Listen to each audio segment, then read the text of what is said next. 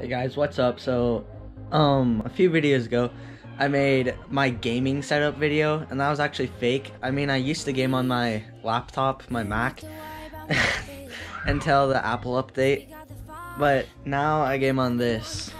I game on a 64-inch TV. I have my remote and headset. I have the HX. Then this is the Xbox Series X controller, I'm pretty sure. Then under here, we have my remote, and then all my games right here, my Xbox, and yeah, this is my setup.